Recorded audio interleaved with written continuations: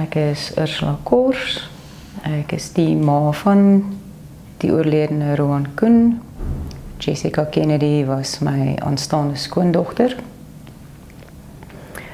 Op 23 Desember 2017 uh, was ek tuis. Ek het gewag op hulle oproep om my te laat weet dat hulle veilig terug is in Pretoria nadat hulle in Witrifuur by Jessica se ma gekuier het om hulle onlangse verloving te vier. 'n Vriend van Jessica se ma het vir my gesê dat daar 'n ongeluk was en dat Jessica en Ron beide oorlede is in die ongeluk. Met my navrae in die maande wat daarop gevolg het, is ek telkens voor Dooyemans deurgebring by die Silverton polisiestasie. Daar's my altyd ontwykende antwoorde gegee. Ek het bittermin in verbinding kon tree met die ondersoekbeampte. Hy het baie selde my boodskappe geantwoord wat ek vir hom op sy foon gelos het. Ehm um, en as ek korrek onthou het hy my net eenmaal teruggeskakel.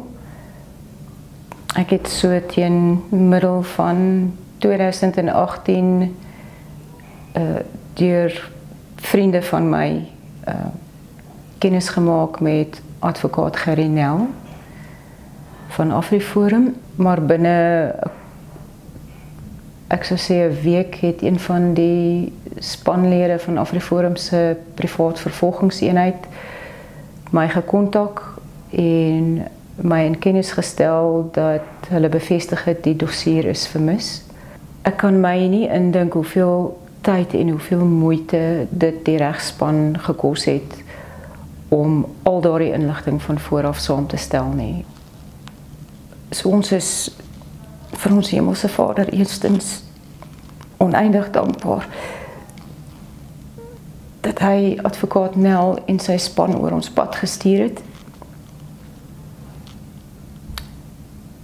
En dat reg en geregtigheid vir hulle soveel beteken dat hulle vir bykans 3 jaar soveel moeite gedoen het en onverpoost gewerk het om hierdie saak nou uiteindelik tot in die hof te kan bring. Ons sal nie genoeg woorde hê om hulle te kan bedank vir wat hulle gedoen het.